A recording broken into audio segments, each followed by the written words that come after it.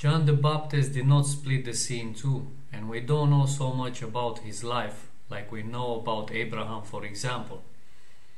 If it were not written, and if Jesus were not to say, Among those born of woman, there has not risen one greater than John the Baptist, I don't think many would believe this.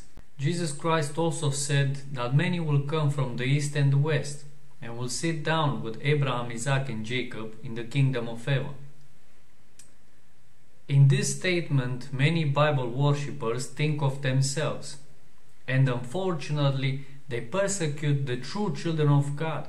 And it ought to be like this, because Jesus said, A disciple is not above his master. The true children of God are not guided by the Bible, by what other children of God did in the past.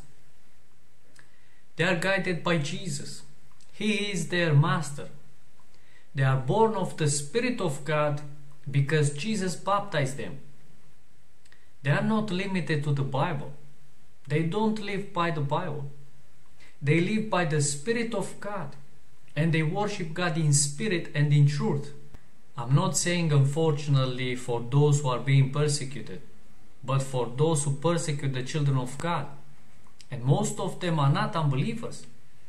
They are people who follow different doctrines of men, who are not inspired by God, but they are inspired by the Bible, just like the Pharisees were inspired by the scripture. Jesus and the disciples were not persecuted by unbelievers but by people who claim to serve God. And unbelievers can't put you out of their synagogues because they don't have synagogues. The true children of God, born of the Spirit of God, are one. Because Jesus guides them all, and Christ is not divided.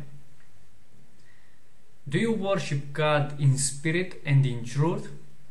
Or are you a Bible worshipper who thinks all the works God did through His children and still does today can be contained in a book.